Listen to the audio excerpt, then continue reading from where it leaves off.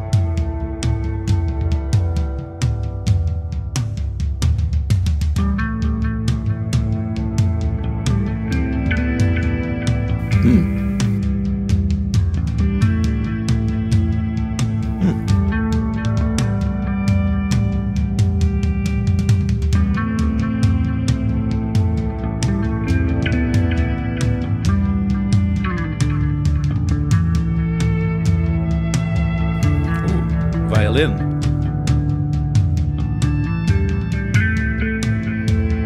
It's great.